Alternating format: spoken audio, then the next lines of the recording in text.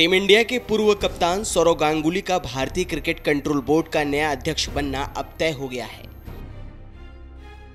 उनकी इस नई टीम में जय शाह, अरुण धूमल, महिम वर्मा, ब्रिजेश पटेल और जयदेव शाह शामिल हैं।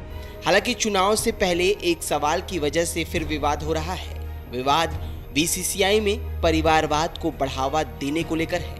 ऐसे में आइए जानते हैं किसका रिश्तेदार कौन से पद पर चुनाव में खड़ा है।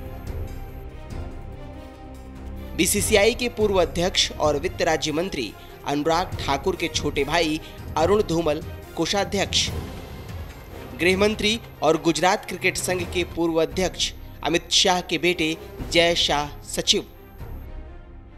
बीसीसीआई के पूर्व सचिव निरंजन शाह के बेटे जयदेव शाह, संयुक्त सचिव के पद पर चुनाव लड़ रहे हैं।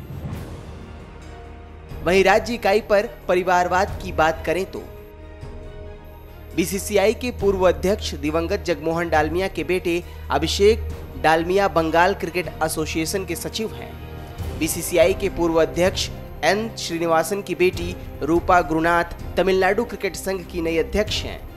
बीसीसीआई के पूर्व उपाध्यक्ष चिरायु अमीन के बेटे प्रणव बड़ौदा क्रिकेट एसोसिएशन के अध्यक्ष हैं। बीसीसीआई के पूर्व सचिव दिवंगत जयवंत लेले के बेटे अजीत लेले बड़ौदा क्रिकेट एसोसिएशन के सचिव हैं।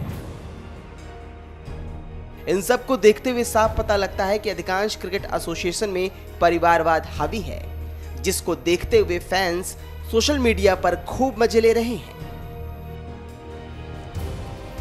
Desk Amar Ujala dot com.